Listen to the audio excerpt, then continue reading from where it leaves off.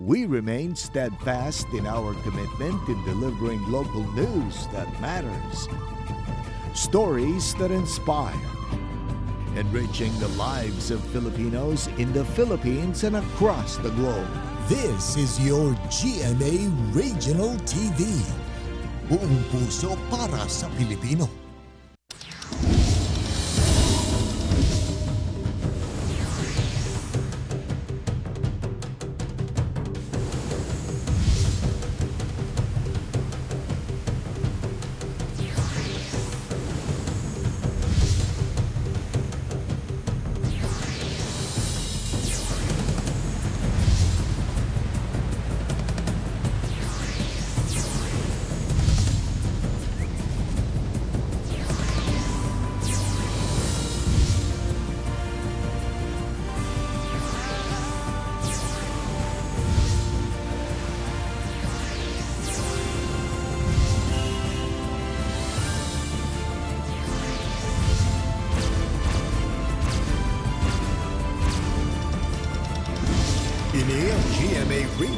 TV Balitang Bicolandia.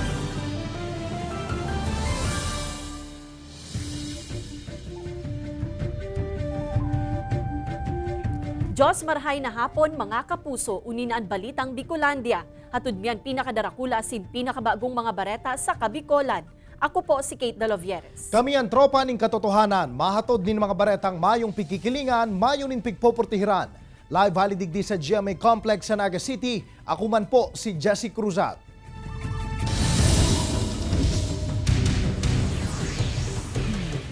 Banggaan kan duwang motorsiklo sa syudad ni Naga nahulikam. Sarong rider gadan sa insidente. Uyan report. Pasado alas dos nin maagahon kasudma, may hiling sa kuwakan CCTV footage na ini na malinigasin mayong gayong mga lunadan na nagaagi sa porsyon kan tinampo na sakop kan Zone 6, San Rafael Barangay Kararayan sa syudad ni Naga. Alagad aban-aban pa, may hilingan pag-agi kan sarong motorsiklo na biglang suminalpok sa kasabatan na sarupang motorsiklo. Sa kusog kan impact, parehong nakaapo ng duwang rider asin ang pigmamanehong motorsiklo kan mga ini. Makalisan pirang minuto, may hiling man ang pag-abot na kan mga tao sa lugar na nagtabang sa duwang rider na madara sa ospital.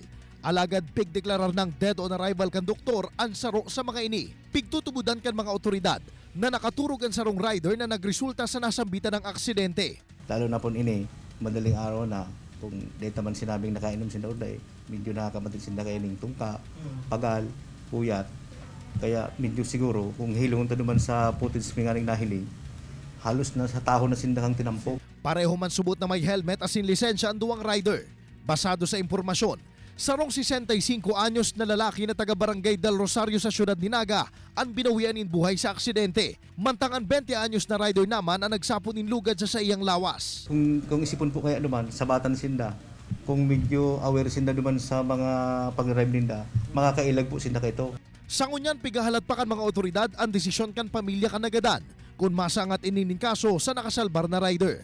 Kaibahan si Carlo Abunita, Jesse Cruzat, Balitang Bicolandia.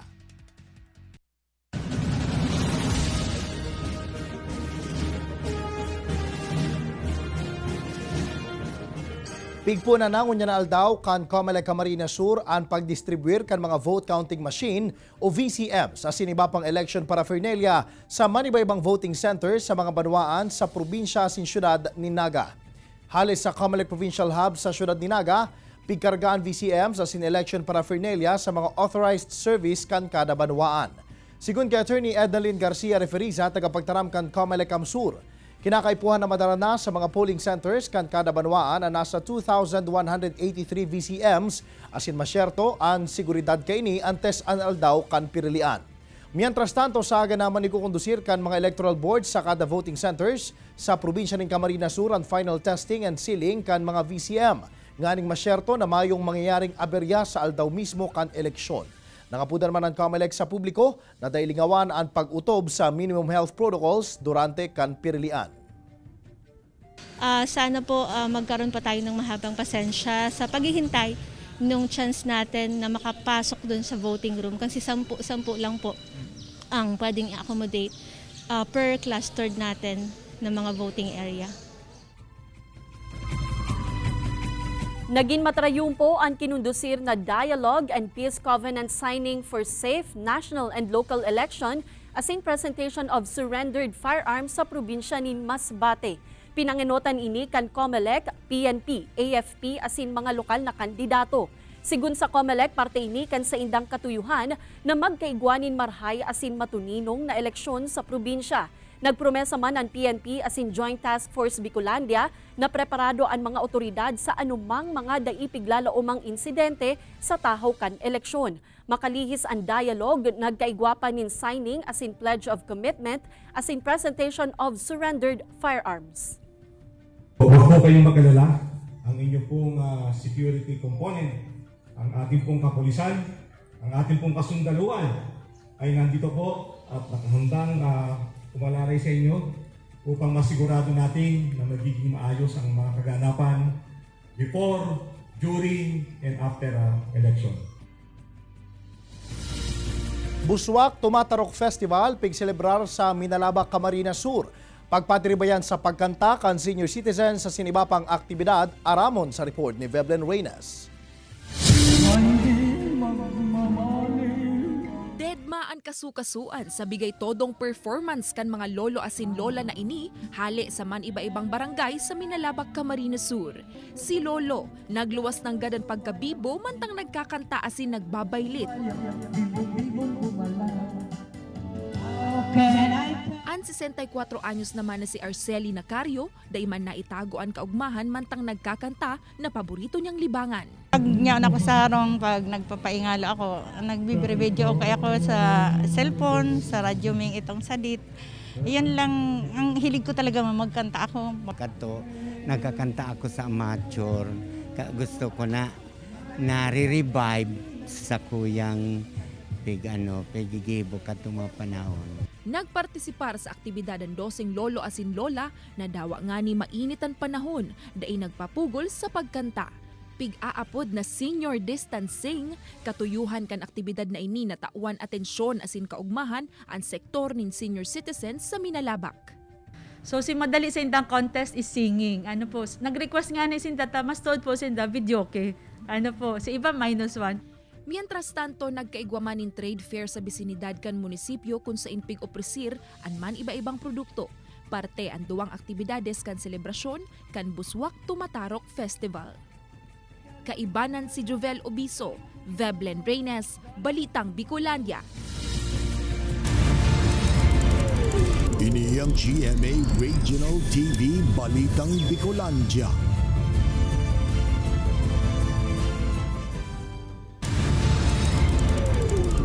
Ang GMA Regional TV Balitang Bicolandia.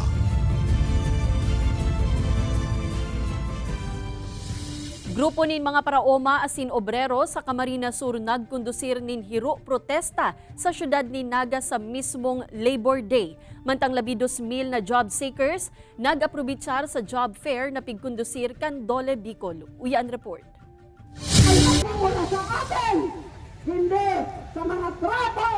Kasabay kan selebrasyon kan Labor Day kasuudma, nagkondusir nin hiro protesta sa syudad ni Naga. An man iba-ibang grupo kan mga paraoma as obrero, gikan sa probinsya kan Camarines Sur.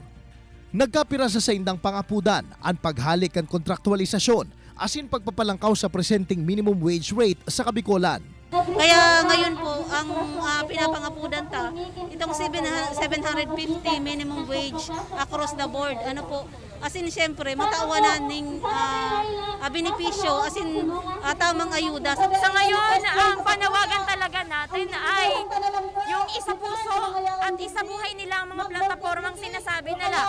Apwera sa pagpapalangkaw sa sweldo kan mga obrero, piguhurot man kan grupo ang pagpapababa kan presyo kan mga barakalon, na sigun sa sainda, saro sa rason kan padagos na pagtios kan kasaraditan. Mientras tanto, sa kaparehong aldaw labidus mil na job seekers man ang nag-aprobitsar sa kinundusir na job fair kan Dole Bicol sa Sarong Mall sa syudad ni Naga.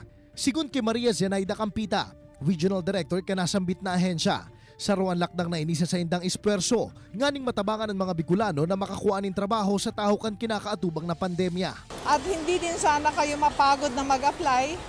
Ah, ganun po talaga, Ah, hindi kayo makontento sa isang employer, you have to apply as many employers. Sa 12,000 na walk-in applicants, 46 digdi ang na-hire on the spot, mantang 1900 man ang pigkukonsiderar na near-hired.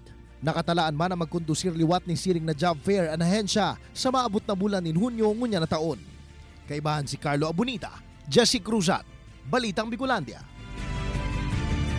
Kasunod kan oil price high kanakalis na semana, igwa na naman nakatala ang rollback sa presyo kan mga produktong petrolyo, punsaga. Sigun sa perang kumpanya, may inaan ang presyo kan diesel nin 1 peso and 15 centavos kada litro. 65 centavos kada litro naman para sa gasolina, mantang ang kerosene mababawasan man nin 1 peso and 15 centavos kada litro. Susog sa huring datos kan Department of Energy kan Abril 26, igwa na ning uh, net increase ang gasolina nin 18 pesos and 45 centavos. 31 pesos man and 45 centavos para sa diesel, mantang 25 pesos and 5 centavos naman para sa kerosene. Maganda kasi madadagdagan na yung para sa amin. Hindi na mapunta sa diesel. Maski magbaba man lamang kadigit para at least makaminus man kami sa gas, dakulang tabang man po yan. Insan na magdagos-dagos ng pagbaba.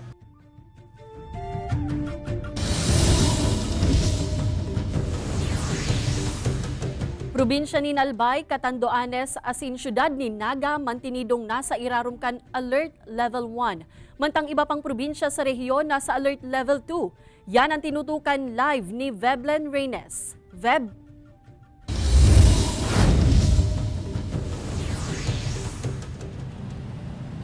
Kate, sa masunod na duwang semana, libredo pang makakahiro ang mga komunidad kan pirang probinsya asin syudad sa Bicol makalihis na magtenir sa alert level 1 ang mga ini. Mientras tanto, ka nakaaging semana Camarines Sur ang may pinakahalangkaw na kaso ng COVID-19 sa rehiyon.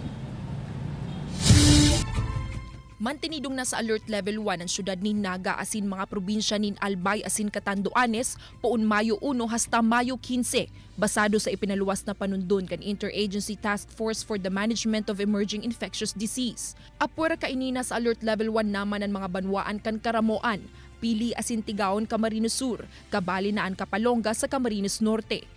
Mientras tanto, nasa alert level 2 status pa ang mga probinsya kan Sorsogon, Masbate asin natatadang lugar sa Camarines Sur asin Camarines Norte. Segun sa DOH Bicol kan nakaaging semana, nairehistro ang 22 na bagong kaso ng COVID-19 sa rehiyon. Pinakahalangkawan Camarines Sur na igwang 13 kaso, tulo sa Naga City, duwa sa Sorsogon, mantang tigsararo naman sa mga natatadang probinsya.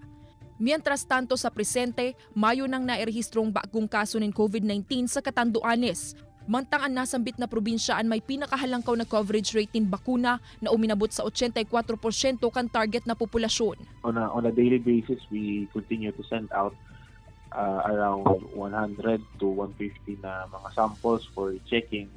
Mga luckily for two days straight, uh, bumabalik naman po na wala pong positive. Mientras tanto, ang mga residente subot kan mga fuwerang barangayan kadaklan kan mga daipa na babakunahan. Meron naman kasi yung RHUs, may mga may mga operations din naman yung mga RHUs wherein they bring the vaccine to those communities. Kate palaog pasanak sa Katanduanes, istrikto na ang gobyerno probinsyal tanganing makontrol ang numero kan COVID-19 cases. Ang rekisito kung mapasiring sa islang probinsya, iuman sa naan vaccination card. Alagad kun mayo, kaipuhan magpresentar ni negative RT-PCR o antigen test. Balik sa imo, Kate. Jos Mabalos Ven. Mientras tanto, pig celebrar ngunya na aldaw kan Muslim community an Idil Fitir o aldaw kan pagtatapos kan Ramadan. Inibasado sa anunsyo kan Grand Mufti of the Bangsamoro Darul Ifta na ngunya na Mayo 2 isa celebrar an Idil Fitir na enot namang pigdeklarar kan Muslim leaders sa paagi kan tradisyonal na moon sighting ceremony sa ika-29 aldaw nin Ramadan. Mientras tanto, pigklaro man kan Malacanang sa paagi ni Executive Secretary Salvador Medialdea na sa aga pa, Mayo 3, 2022, ang deklarado kan gobyerno como national holiday sa pagtatapos kan Idil Fitir. Ini makalihis na magkaigwanin dikit na kariribukan, manungod sa nasambit na kariribungan sa nasambit na obserbasyon ang Idil Fitir ang saro sa pinakaimportanteng okasyon na pigse-celebrar kan Muslim community como tanda kan pagtatapos kan sa indang 30 diyas na pag-aayuno.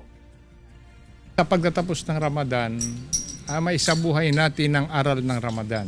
Kung ano man ang naiwan sa atin ng Ramadan ay dapat napangalagaan ng bawat isang mananampalataya. Kasi ito ang pinakamagandang blessing sa bawat isa kasi ang magbibigay sa atin ng uh, reward ang Allah subhanahu wa ta'ala ang Panginoon.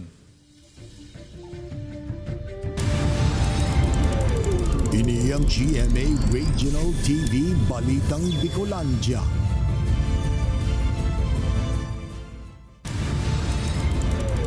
Ini ang GMA Regional TV Balitang Bicolandia.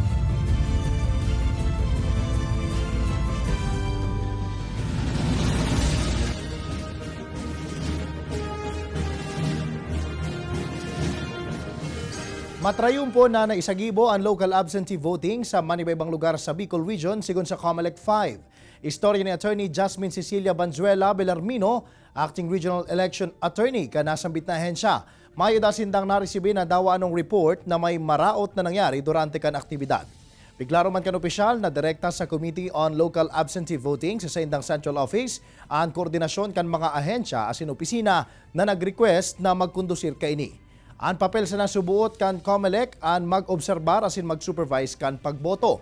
Asin magtaunin magkakanigong asistensya kung kaipuhan kan mga ini. Manual na naging sistema kan local absentee voting, ang mga nagdadalagan sa nasyonal na posisyon sana, ang pwedeng botohan kan mga nag-avail ka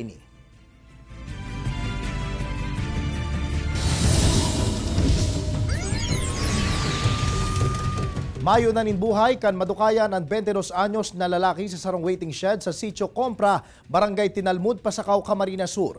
Segun sa mga otoridad, alas 4 nin magahon kan madiskubre kan sarong residente ang bangkay. May sarong tama subutin nin saksak sa daghan na iyo ang ikinagadan kay ni. Residente subot kan Barangay Balogo si Malate na nagpasiring sa Barangay Tinalmud tanganing mag-atendir nin fiesta. Sango niya nagpapadagos pa ng investigasyon kan mga otoridad para masusog ang suspetsado asin ang motibo sa panggagadan. Day na nakapalagpa ang sarong lolo kan sakyadahon kan CIDG Albay asin PNP SAF ang harong kaini sa barangay Lumakaw Ginubatan Albay. Nahampang ang 67 anyos na suspetsado sa kasong 2 counts of rape basado sa mandamiento de aresto na pigluwas kan korte pigkukonsiderar man como number 3 most wanted person ang nasambitan ng persona na pigtutukdong nasa likod kan panlulugo sa sadiri kaining aki. Sa taho kan operasyon, nakumpiskar man sa posisyon kaini ang sarong kalibre 38 na badil. Sa ngunya nagtitinir na sa kustodiya kan mga otoridad ang suspetsado para sa maninigong disposisyon.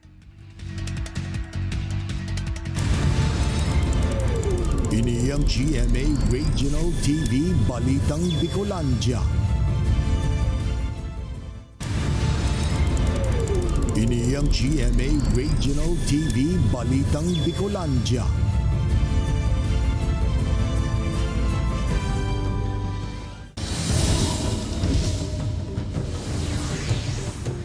Good news mga kapuso, apat na mga lucky winners na naman ang napili sa Week 4 and 5 sa Kapuso Bigay Premyo Panalo Season 3 na nakaresibinin 100,000 pesos. May oras pa hulita hasta sa May 6, 2022 na sana pwedeng magpadaranin entries. Day pagsayangon ang tsansa na manggana sa mga masunod na semana ni cash prizes as in house and lot sa Grand Draw. Alagad mga kapuso, mag-ingat sa mga fake news fake Facebook accounts as in scam text. Ang notification para sa BPP3 winners ang mangyayari sa paagikan official call o text message gikan mismo sa GMA. Kasabay kan pag-obserbar sa World Malaria Day, pikumpirmar kan DOH Bicol na zero cases na ang rehiyon sa malaria. Basado sa datos kay ni taong 2021 pa kan huring magkaigwanin sa rong kaso sa rehiyon, alagad sa rusubutin ng imported case o bako ini mismo sa Bicol. Sa rong klase ni Helang ang malaria, nadarakan sa rong parasite na Plasmodium. Kadalasan na nalilipat ini sa tao sa pagikan kagat kan sa rong klase din lamok na pigaapod na Anopheles mosquito. Matapos ang 10 hasta 15 aldaw, makalis makagat kay ni. Posibleng maka-eksperyensya ng galintura, kulog din payo asin chills an sarontaw. Tulos man dapat na magpasiring sa ospital kung makamati kay ni, takunday maagapan, pwedeng magresulta sa kidney failure, seizure, coma asin pagkagadan. Padagos man ang pagirumdum kan mga otoridad na obserbaran ang preventive measures Arod na sanakan pag-spray ng insecticide asin paghali kan mga nakatipon na tubig na posibleng maging breeding area kan namok. Nganing mas malikayan ang mga mararaot na insidente na kadalasang nairirehistro sa merkado publiko kan Daet Camarines Norte, nagdagdag pa nin mga CCTV unit ang lokal na gobyerno kan Banwaan. Bako sa mga piling lugar inipig kabitan, alagad maging sa laog asin luwas kan merkado. Sa presente, nasa 61 unit na ang mga CCTV na naka-install sa lugar asin plano pa kan gobyerno na magbugtak nin suhay na CCTV camera para sa monitoring. Sa ngunyanan, marikas na monitoring asin surveillance muna ang piglalauman kan Market Administration para mamantinir ang seguridad sa laog asin luwas kan merkado ug natakulang subot ang market guards. Alagad yawan man subot ang tabang kan mga law enforcement units asin PNP na perming preparadong magresponde sa mga daig piglalaomang insidente. Dito po kasi sa public market, ang madalas po namin na-encounter dito, sir, yun pong salisi, mandurukot, especially po yung peking pera. Sa rong 9.5 na hektaryang lugar nin komersyo ang nakatalaang bukasan sa syudad ni Naga, partikularmente sa may porsyon kan Almeda Highway sa Barangay Concepcion, Pequeña. Aapo doon ni Common Naga Global Business Park kung saan posibleng ikonstruhir ang maniba-ibang establishmento kan negosyo asin industriya, sining kan merkado, BPO, health facility, commercial buildings, office buildings, kabali na tanha- o townhouse development project. Sigun naman sa pribadong investor kan nasambit na proyekto, saro sa katuyuhan kaini na makataon nin dugang na empleyo, urog na sa mga nadidipisilan na maghanap nin trabaho huli sa epekto kan pandemya. Piglalaw man man na mapupunan ang konstruksyon kanasambitan ng proyekto ngunya na taon. It's the most competent uh, city, so we want to invest uh, in our hometown at the same time where we believe that uh, it will really help the community. Pun ngunya na aldaw, Mayo 2, yahatod sa Indo kan GMA Entertainment Group ang most explosive gender switch sa Philippine TV, ang False Positive. Ang False Positive sarong showcase comedy romance as in reversal of roles na pigbibidahan ni Sian Lim para sa sayang enot na GMA Primetime Series kay bahanan ang multi-talented kapuso actress na si Glyza De Castro. Sa romcom na ini, gagampanan ni Sian ang unique and challenging character ni Edward, mantang ang role ko mo yani naman ang magiging papel ni Glyza. Pungo niya na daw, anas kaugmahan asin mga valuable life lessons ang nagahalat sa satuyang mga kapuso viewers. Kaya dahil palagpason ang buhay ninda Edward asin yani sa false positive pagkatapos na yan kan First Lady sa GMA Telebabad. Madadala ng episode ni Inias Siniba pang lokal na bareta sa official website kan GMA Regional TV www.gmaregionaltv.com. Pwede man kabong magbisita sa samuyong official YouTube channel GMA Regional TV as click ang subscribe button para sa pinakamainit na bareta halay sa manibaybang rehiyon. Ninulita sa GMA Regional TV, Local News Matters. Asin yan ang pinakadakula asin mainit na bareta sa Kabikolan. Ako po si Kate Dalovieres. Diyos mabalo sa sa indong pagantabay pati na sa mga kapuso niya itong nasa ibang nasyon na nagtutok sa mga bareta sa rehiyon. Ako man po si Jesse Cruzat. Kami ang GMA Regional TV Balitang Bicolandia. Maserbi, nin buong puso para sa Pilipino.